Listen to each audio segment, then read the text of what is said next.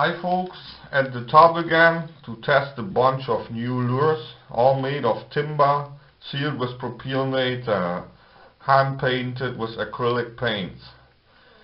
Here's a crankbait.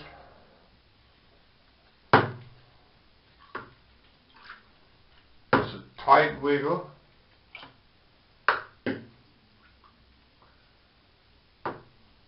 That's nice. I guess I could use it as a diving jerk bait. You know, jerk it down and let rise again. Jerk down, let rise. Okay?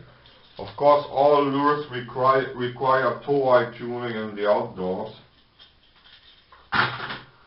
Um, here's a, a real big one deep diver uh, with a 3 millimeter Lexan lip.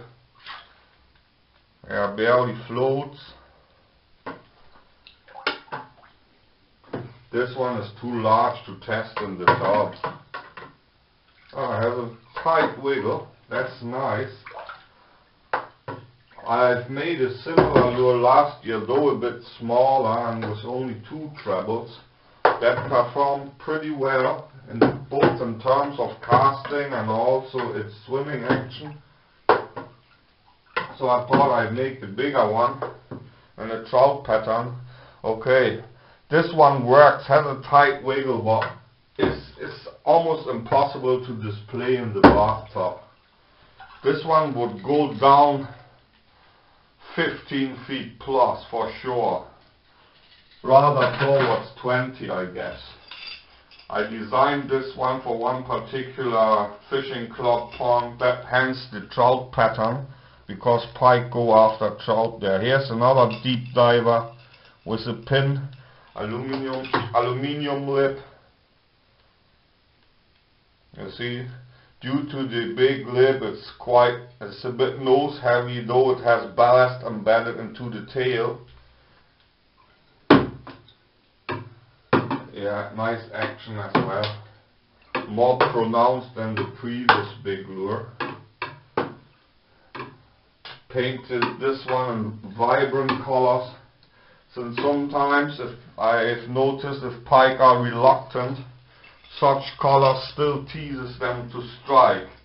Not because that they are hungry or confusing this uh, lure with the natural prey, just because it's disturbing their eyes. That's my theory. Okay, here's a shallow diver in the perch pattern. Yeah, no complaints about this one. As I said before, tow eye tuning required to all lures. Has a nice roll in action, this one. Would dive 3 feet or so. Okay. Now a, another perch pattern, quite similar, but the old type uh, uh, with, uh, lure with a Z lip, kind of deep diving lip, deep diving Z lip. Yeah, nice action this one has. Actually this one is made on request of a friend. He wants it to fish in a river about 10 feet deep and uh, I think it might reach the 10 feet with this uh, lip. Might be only 8 but I guess it's going to be okay. You see the lower portion of the Z lip is quite long. This has been turned from Abachi with a belly slot and actually the entire belly slot has been filled up uh, with a 1 millimeter lead sheet together with the wire harness so very well balanced lure.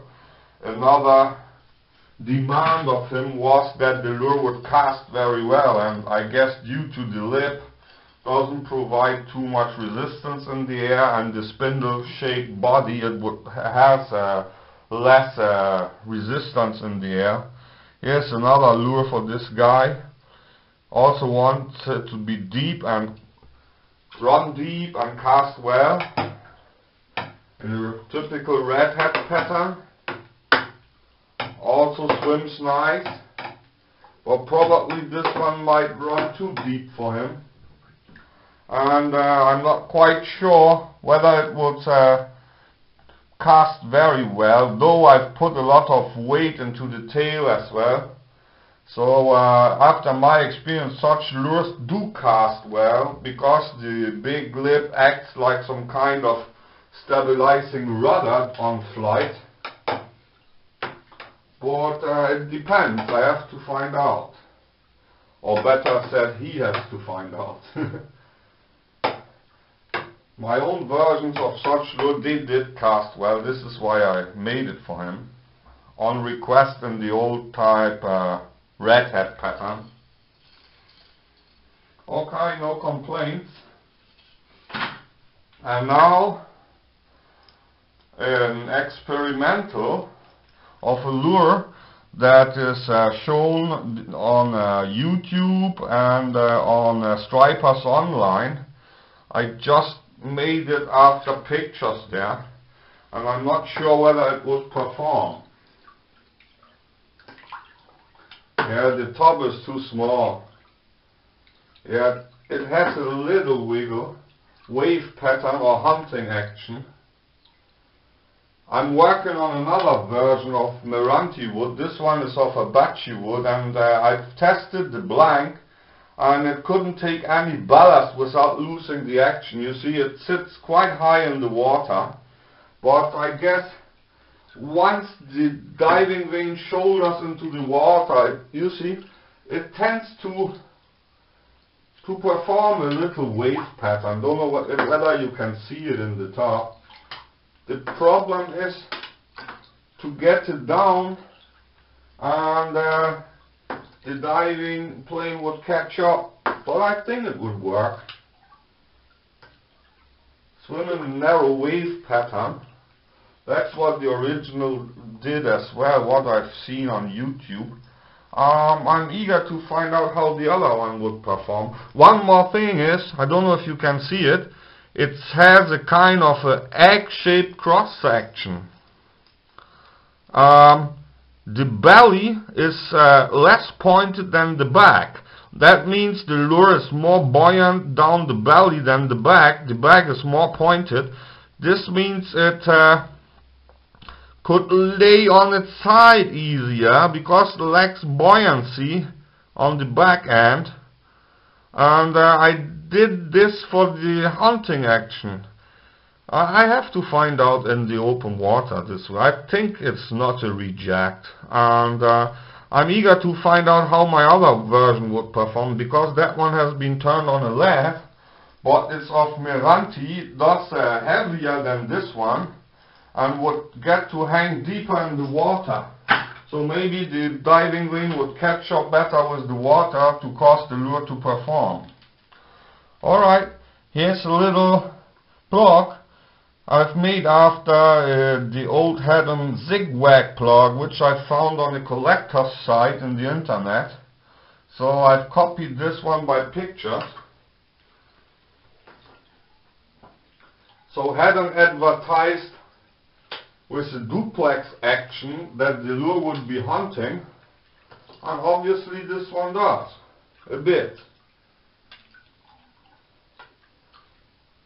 Somewhat irregular wiggle. See it floats high in the water. It's also made of abachi wood and doesn't have any added ballast because I've tried to add ballast to the blank but uh, I, I knew that with this kind of lures with integrated diving planes at the nose, any ballast most likely doesn't do any good and decreases the action. So I'm satisfied with this one. I'm catching one on the or the other pike on such old old style plugs and uh, nobody else fishes them because they're old fashioned. Well, I like them. Here's another one, zigzag copy. This one is made of Meranti, thus, it's a bit heavier, you see, hangs a tad deeper in the water. But at the blank test, this one did not perform well. Okay, it requires tow eye tuning. But this one,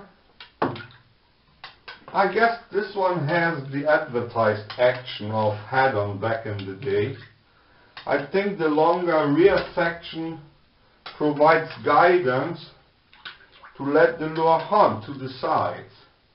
Of course I need to uh, need to uh, adjust the toy. Oh, it's, it's a pity I do not have access to an old original Zig-Wag because they've stopped making them in the early 1950s.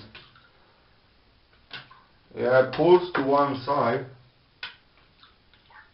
Oh, I'm satisfied with all of this bunch of lures. And uh, give them a try. As from 1st May on, the local pike closing time is through. So, uh, gonna have a lot of lures to pack in my tackle box and try them all in local pike. I'm very confident on such old-time plugs. I really am. I've caught heaps of pike on them. Not the largest ones, but it's great fun to fish these. Alright, thanks a lot for watching folks. These were my actual lures. Some more to come in a couple of weeks, but uh, I'm saying goodbye. See you next time. Goodbye.